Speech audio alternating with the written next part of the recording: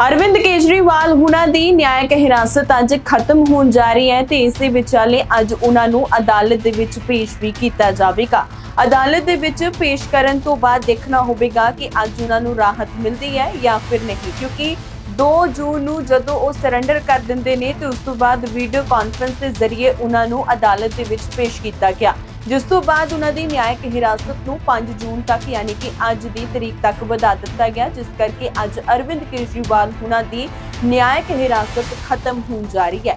ਜਿਸ ਤੋਂ ਬਾਅਦ ਅੱਜ ਇੱਕ ਵਾਰ ਫਿਰ ਤੋਂ ਉਹਨਾਂ ਨੂੰ ਕੋਰਟ ਦੇ ਵਿੱਚ ਪੇਸ਼ ਕੀਤਾ ਜਾਵੇਗਾ। ਉਸ ਤੋਂ ਬਾਅਦ ਹੀ ਪਤਾ ਲੱਗੇਗਾ ਕਿ ਆਖਿਰਕਾਰ ਅਰਵਿੰਦ ਕੇਜਰੀਵਾਲ ਉਹਨਾਂ ਨੂੰ ਜ਼ਮਾਨਤ ਮਿਲਦੀ ਹੈ ਜਾਂ ਫਿਰ ਉਹਨਾਂ ਨੂੰ ਮੁੜ ਤੋਂ ਜੇਲ੍ਹ ਜਾਣਾ ਪਵੇਗਾ। ਕਿਉਂਕਿ ਉਹਨਾਂ ਦੇ ਵੱਲੋਂ ਸਿਹਤ ਨੂੰ ਲੈ ਕੇ ਕੋਰਟ ਦੇ ਵਿੱਚ ਪਟੀਸ਼ਨ ਦਾਇਰ ਕੀਤੀ ਗਈ ਹੈ, ਜਿਸ ਦੇ ਵਿੱਚ ਉਹਨਾਂ ਨੇ ਕਿਹਾ ਗਿਆ ਸੀਗਾ ਕਿ ਗਰਮੀ ਦੇ ਕਰਕੇ ਉਹਨਾਂ ਨੂੰ ਜੋ ਜੇਲ੍ਹ ਦੀ ਬੈਰਕ ਹੈ ਉਸ ਦੇ ਵਿੱਚ ਜਿਹੜਾ ਉਹਨਾਂ ਦਾ ਰਹਿਣਾ ਸਹਿਣਾ ਹੈ, ਉਹ ਕਾਫੀ ਜ਼ਿਆਦਾ ਮੁਸ਼ਕਿਲ ਹੋ ਚੁੱਕਾ ਹੈ ਤੇ ਇਸ ਦੇ ਨਾਲ ਹੀ ਸਮਰਥਕਾਂ ਦੇ ਵੱਲੋਂ ਵੀ ਇਹ ਗੱਲ ਆਖੀ ਗਈ ਸੀਗੀ ਕਿ ਅਰਵਿੰਦ ਕੇਜਰੀਵਾਲ ਹੁਣਾਂ ਦਾ ਵਜ਼ਨ ਜਿਹੜਾ ਤੇਜ਼ੀ ਦੇ ਨਾਲ ਘਟਦਾ ਹੋਇਆ ਨਜ਼ਰ ਆ ਰਿਹਾ ਇੱਕ ਤਾਂ ਸ਼ੂਗਰ ਦੇ ਮਰੀਜ਼ ਨੇ, ਦੂਜੇ ਬੰਨੇ ਗਰਮੀ ਵੱਧ ਹੋਣ ਦੇ ਕਰਕੇ ਉਹਨਾਂ ਨੂੰ ਜੇਲ੍ਹ ਦੀ ਬੈਰਕ ਦੇ ਵਿੱਚ ਗਰਮੀ ਤੋਂ ਬਚਣ ਦੇ ਲਈ ਕੂਲਰ ਵੀ ਨਹੀਂ ਦਿੱਤਾ ਗਿਆ। ਜਿਸ ਤੋਂ ਬਾਅਦ ਹੁਣ ਦੱਸਿਆ ਜਾ ਰਿਹਾ ਹੈ ਕਿ ਜੇਲ੍ਹ ਪ੍ਰਸ਼ਾਸਨ ਦੇ ਵੱਲੋਂ ਗਰਮੀ ਤੋਂ ਬਚਣ ਦੇ ਲਈ ਅਰਵਿੰਦ ਕੇਜਰੀਵਾਲ ਹੁਣਾਂ ਨੂੰ ਇਹ ਸਾਰੀਆਂ ਚੀਜ਼ਾਂ ਮੁਹੱਈਆ ਕਰਵਾ ਦਿੱਤੀਆਂ ਗਈਆਂ ਨੇ। ਪਰ ਅੱਜ 5 ਜੂਨ ਹੈ, ਨਿਆਇਕ ਹਿਰਾਸਤ ਖਤਮ ਹੋ ਰਹੀ ਹੈ।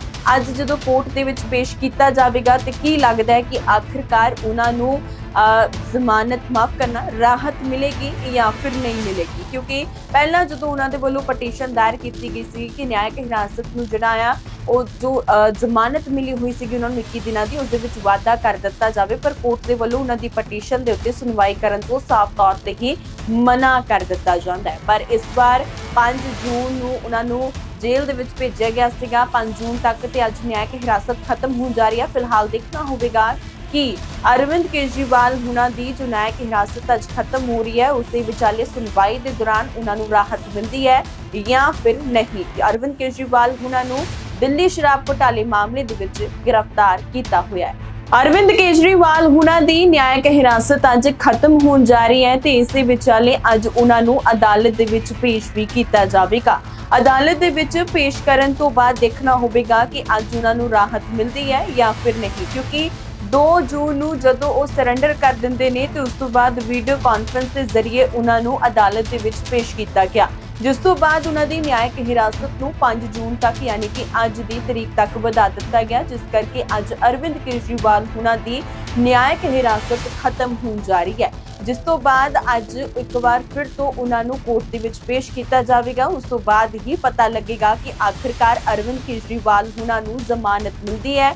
ਜਾਂ ਫਿਰ ਉਹਨਾਂ ਨੂੰ ਮੁੜ ਤੋਂ ਜੇਲ੍ਹ ਜਾਣਾ ਪਵੇਗਾ। ਕਿਉਂਕਿ ਉਹਨਾਂ ਦੇ ਵੱਲੋਂ ਸਿਹਤ ਨੂੰ ਲੈ ਕੇ ਕੋਰਟ ਦੇ ਵਿੱਚ ਪਟੀਸ਼ਨ ਦਾਇਰ ਕੀਤੀ ਗਈ ਹੈ, ਜਿਸ ਦੇ ਵਿੱਚ ਉਹਨਾਂ ਨੇ ਕਿਹਾ ਗਿਆ ਸੀਗਾ ਕਿ ਗਰਮੀ ਦੇ ਕਰਕੇ ਉਹਨਾਂ ਨੂੰ ਜੋ ਜੇਲ੍ਹ ਦੀ ਬੈਰਕ ਹੈ, ਉਸ ਦੇ ਵਿੱਚ ਜਿਹੜਾ ਉਹਨਾਂ ਦਾ ਰਹਿਣਾ ਸਹਿਣਾ ਹੈ, ਉਹ ਕਾਫੀ ਜ਼ਿਆਦਾ ਮੁਸ਼ਕਿਲ ਹੋ ਚੁੱਕਾ ਹੈ ਤੇ ਇਸ ਦੇ ਨਾਲ ਹੀ ਸਮਰਥਕਾਂ ਦੇ ਵੱਲੋਂ ਵੀ ਇਹ ਗੱਲ ਆਖੀ ਗਈ ਸੀਗੀ ਕਿ ਅਰਵਿੰਦ ਕੇਜਰੀਵਾਲ ਹੁਣਾਂ ਦਾ ਵਜ਼ਨ ਜਿਹੜਾ ਤੇਜ਼ੀ ਦੇ ਨਾਲ ਘਟਦਾ ਹੋਇਆ ਨਜ਼ਰ ਆ ਰਿਹਾ ਇੱਕ ਤਾਂ ਸ਼ੂਗਰ ਦੇ ਮਰੀਜ਼ ਨੇ, ਦੂਜੇ ਬੰਨੇ ਗਰਮੀ ਵੱਧ ਹੋਣ ਦੇ ਕਰਕੇ ਉਹਨਾਂ ਨੂੰ ਜੇਲ੍ਹ ਦੀ ਬੈਰਕ ਦੇ ਵਿੱਚ ਗਰਮੀ ਤੋਂ ਬਚਣ ਦੇ ਲਈ ਕੂਲਰ ਵੀ ਨਹੀਂ ਦਿੱਤਾ ਗਿਆ। ਜਿਸ ਤੋਂ ਬਾਅਦ ਹੁਣ ਦੱਸਿਆ ਜਾ ਰਿਹਾ ਹੈ ਕਿ ਜੇਲ੍ਹ ਪ੍ਰਸ਼ਾਸਨ ਦੇ ਵੱਲੋਂ ਗਰਮੀ ਤੋਂ ਬਚਣ ਦੇ ਲਈ ਅਰਵਿੰਦ ਕੇਜਰੀਵਾਲ ਹੁਣਾਂ ਨੂੰ ਇਹ ਸਾਰੀਆਂ ਚੀਜ਼ਾਂ ਮੁਹੱਈਆ ਕਰਵਾ ਦਿੱਤੀਆਂ ਗਈਆਂ ਨੇ। ਪਰ ਅੱਜ 5 ਜੂਨ ਹੈ ਨਿਆਇਕ ਹਿਰਾਸਤ ਖਤਮ ਹੋ ਰਹੀ ਹੈ।